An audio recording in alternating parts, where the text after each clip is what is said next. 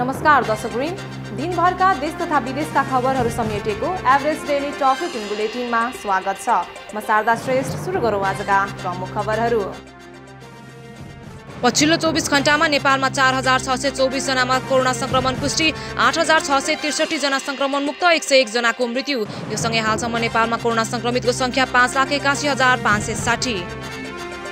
Covid सङ्क्रमणको तेस्रो तथा चौथो लहर आउन सक्ने भन्दै अस्पतालहरूमा आवश्यक तयारी गर्न स्वास्थ्य तथा जनसङ्ख्या मन्त्रालयको आह्वान।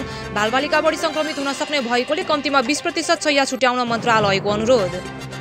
राष्ट्रपति विद्यादेवी भण्डारीलाई गाली गलौज गरेर श्रव्य दृश्य सामग्री प्रकाशन गर्ने वेबसाइट बन्द गर्ने सरकारको चेतावनी सकारात्मक सन्देश प्रसारण गर्न अपिल। राजनीतिको काममा थप सङ्कट बढ्ने काम नगर्न पनि आग्रह।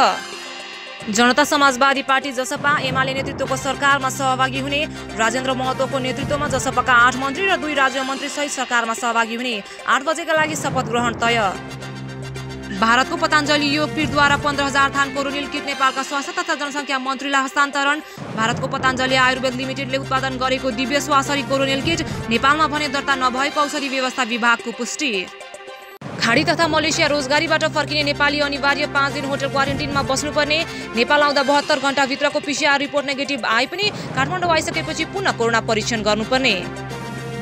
संवैधानिक इजलास वरिष्ठताका आधारमा गठन नागरिकता अध्यादेश विरुद्धका मुद्दाको सुनवाई। अमेरिकाले नेपाललाई कोरोना विरुद्धको खोप उपलब्ध गराउने निश्चित। पहिलो चरणमा साढे दुई करोड डोज खोप वितरण गर्ने अमेरिकी राष्ट्रपति जो बाइडेनले जारी गरेको विज्ञप्तिमा उल्लेख। नागरिकता अध्यादेश विरुद्धका मुद्दा हेर्दा हेर्दैमा आज चारवटाको सुनवाई दुईवटाको बाँकी अर्को पेशी जेठ सत्ताइस गते हुने।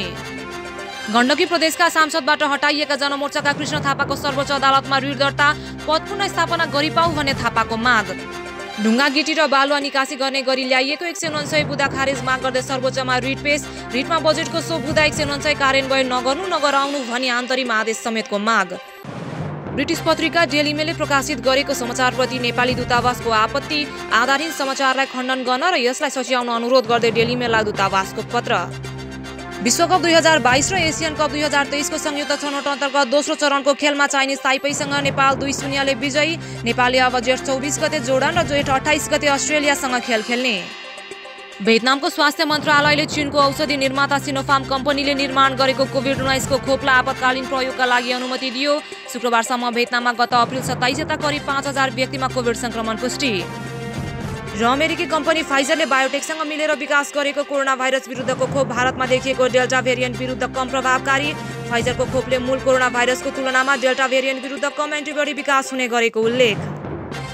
एभरेज डेली फिफ्टिन बुलेटिन अहिलेलाई सकियो।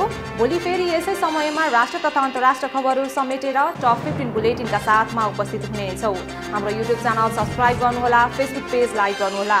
ताजा खबरको लागि हाम्रो online portal W W dot average daily news dot com पनि हेर्न सक्नुहुनेछ। एभरेज डेली हेर्दै गर्नुहोला। नमस्कार।